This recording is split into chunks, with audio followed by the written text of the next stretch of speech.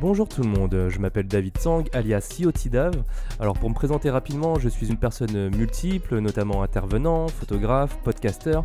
Euh, je suis un Français qui habite euh, Montréal depuis près de 6 ans désormais. J'ai toujours travaillé dans le milieu du social, que ce soit à Paris en tant qu'éducateur de rue et ici à Montréal dans les différents organismes communautaires comme à Dans la rue, la SDS et enfin en tant que coordonnateur du programme Tapage à Spectre de rue pendant une bonne année et demie.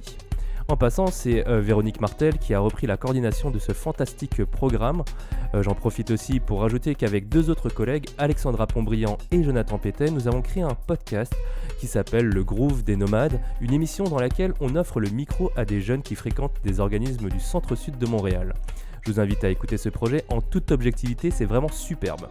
En tout cas, j'ai quitté Spectre de rue en novembre dernier pour construire mon projet de compagnie.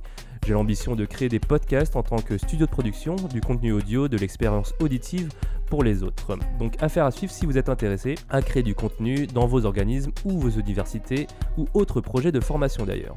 Pour revenir au podcast de Tapage Québec, c'est dans une démarche de mise en lien que j'ai voulu aider à poser des bases de discussion entre les différents organismes qui font du tapage, afin de comprendre un peu mieux la réalité de leur public, de leur environnement et tout simplement de leur réalité de philosophie de travail.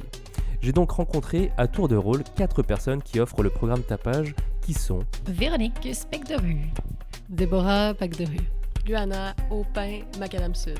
et enfin Sophie, Centre des jeunes, l'Escale de Montréal-Nord. J'espère que ces extraits audio vont vous permettre d'engager de bonnes discussions et de créer quelque chose de viable au projet de Tapage Québec. De mon côté, je vous dis à bientôt et surtout bonne écoute. Paix sur vous.